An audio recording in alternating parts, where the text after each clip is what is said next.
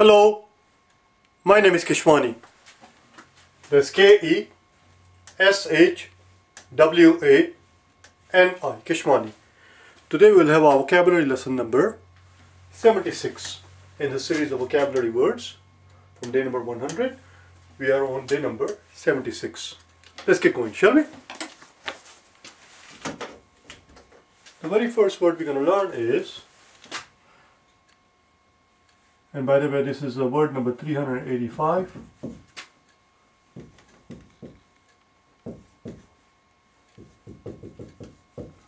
How do we pronounce it?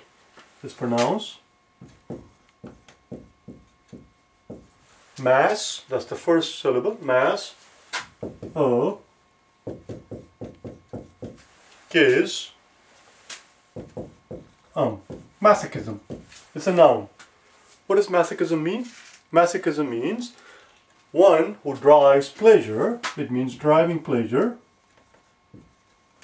driving pleasure from being subjected to abuse or physical pain. I know it's weird, but that's what it is. Masochism is where one drives pleasure, either uh, uh, one drives pleasure from abuse or physical pain, and that pain is either subjected by oneself or by somebody else. You, you can have somebody else uh, induce, uh, subject you to some, some sort of pain, or you can do it to yourself. And if you, if you drive pleasure from it, that uh, condition is called masochism. And the adjective, the person who drives the pleasure, is called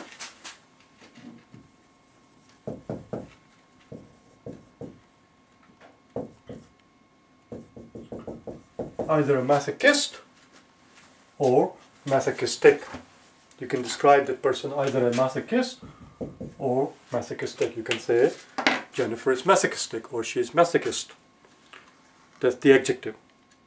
Now, this word most of the time when it is used is used in a very narrow context. It means to drive pleasure from being uh, abused or, or having uh, physical pain induced on yourself usually usually in the context of sexual activities. But it doesn't need to be. It doesn't need to be. You can also use it in a very broad sense. It just means somebody who drives pleasure from from from having from being subjected to pain and that's all there is let's get let's get going. The next word we're going to learn is the exact opposite word, the word that means the exact opposite. Next word we're going to learn is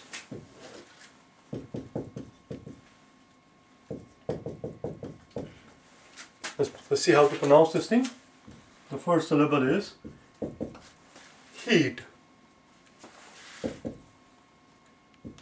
Hedonism. Hedonism. And so now, hedonism is just the opposite state where uh, you're doing something, you're doing something because it is pleasurable, because it is pleasurable without, without any regards to morality of it. So hedonist, which is the adjective,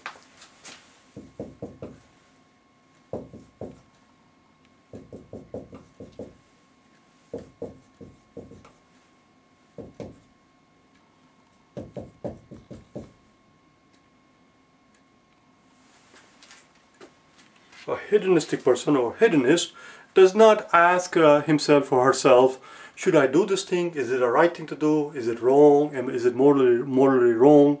I know it's very pleasure, but it's going to give me immense pleasure, but it's not the right thing to do, is it? They do not ask this kind of question at all. This person does whatever they, whatever it is that he or she does purely because it gives them pleasure. And such a person who seeks pleasure in everything that they do without any regard to the morality of the activity is called a hedonist hedonist as opposed to masochistic. Let's move on. Another word which is sort of related which is which is a word which is a neutral word. This person is looking for pain, looking for uh, abuse. This person does things because it's pleasurable. Let's look at third word.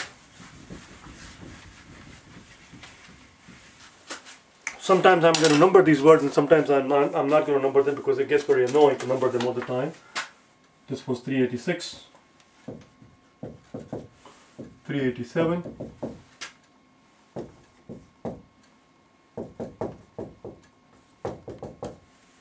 and the word is, the first syllable is m, m, nas, tick, monastic. It's an adjective. What does monastic mean? Monastic means a person who lives a simple life, a simple life, like a monk, like a monk, a very bare existence, a very, a very bare and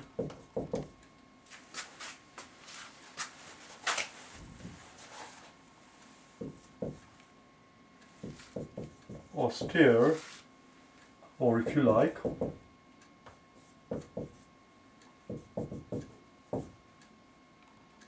Ascetic existence. A bare or ascetic existence as in a monastery. As in as in a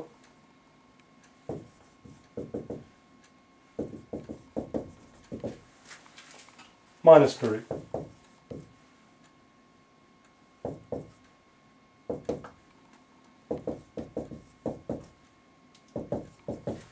Where monks live, where?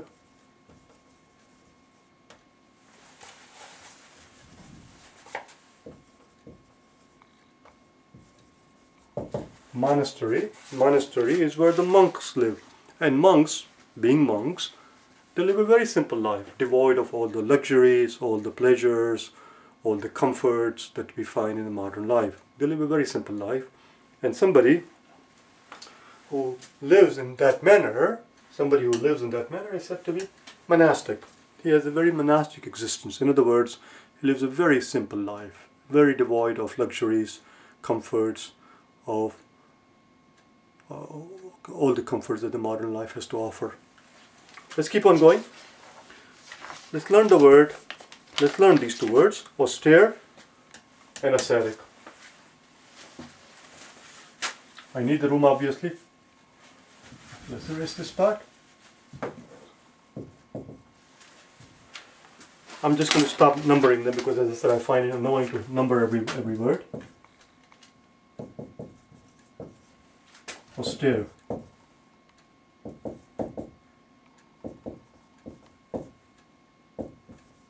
Adjective which means without worldly comfort. without worldly comforts.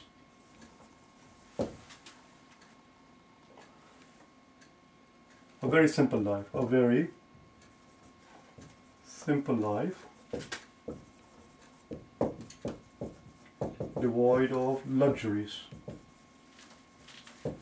A very simple life devoid of luxuries. These days in the media, we hear of several European countries going through austerity. They're going through austerities because they have no money. They keep spending, they kept spending money like mad people over the last 20 or 30 years. And now they're finding out that they have accumulated a great deal of public debt. Some of them as much as 100% of their GDP, maybe even more than 100% of their GDP countries such as Italy, Portugal, Spain, Greece, they come to mind. And they are all going through a period of austerity. Austerity comes from the word austere. The noun of austere is austerity. Let's keep on going, shall we?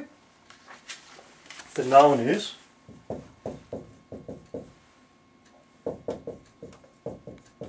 austerity. Somebody who lives an austere life, they have a life of austerity. And that's what you'll find in a monastery. Uh, I erase the word monastery. That's what you will find in a monastery. Very austere existence, And such an existence is called a monastic existence. The word, the word monastic is derived from monastery. It comes from monastery. Let's move on. The next word we want to learn is ascetic. So we're going to do it on the top.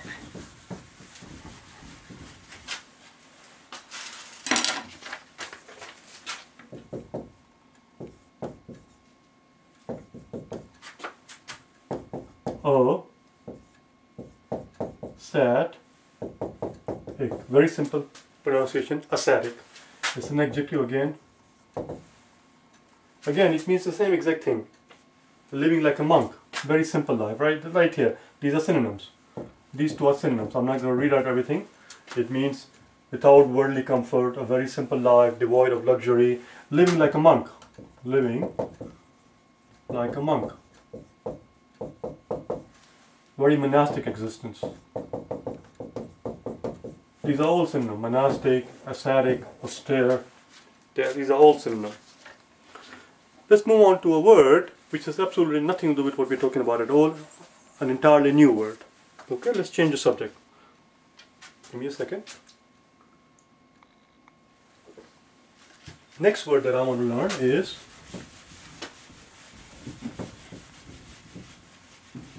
It's actually tricky word. It's tricky because it's tricky because one has to pay attention to the pronunciation in the singular and plural form of the word. And the word is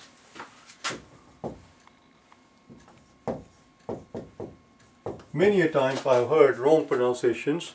Uh, people either pronounce it as a plural in the context of a singular uh, form or vice versa. They want to use plural but they pronounce it as a singular word. One has to pay attention.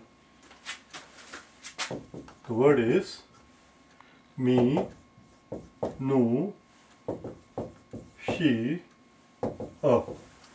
Minutia, minutia, or some sometimes some people pronounce it as instead of instead of saying nu, second syllable being nu, they say new, new with a y sound in it. Minutia.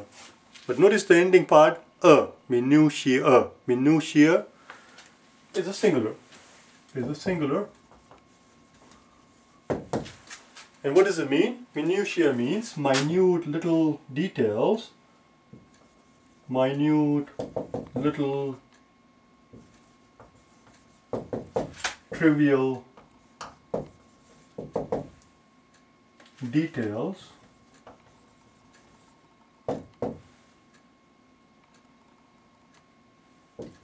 of a procedure. Some people are very picky, some people are very, very picky, and they are worried about, oh, the minute, trivial little detail that really have no significance uh, effect at all, have no significance, uh, what's the word I'm looking for, repercussions at all, but they're still very picky about it. They want to pay attention to all the minute little details, and you say that this person paid attention, pays attention to, and here we need the plural form, you see? We need the plural form and the plural is going to be the way I the way I remember the way I keep them separate is very simple. The mnemonic device that I use is that because this is going to be the plural form it has more letters. It has more letters and because it has more letters of course the pronunciation is going to change. It ends in an E so the sound is going to end in an E you see, that's how I remember it. It has E at the end, and therefore because it has one more letter, it is the plural. And it's pronounced either Minu or Minu, she, e, new she. Minutiae, which is the plural, minutia, which is the singular. So these kind of people, they pay attention to all the minor little tiny details, all the minutiae of a procedure, typically a bureaucratic procedure, a procedure dealing with the legality of the things. And such a person is, and one, one speaks of minutiae, minutiae of a bureaucratic or legal procedure, as I said. And that was it. I just want to learn the word, two different pronunciation. Keep in mind, uh, keeping them separate, the singular form and the plural form. Minutia, minutiae. Let's move on. And such a person such a person who pays attention to minute details, we have a word for it. Such a person is called, such a person is called a, a stickler. A stickler. And stickler is one who is very strict about rules and regulations. Who is person who is very strict about all the rules and regulations. Person who demands, person who demands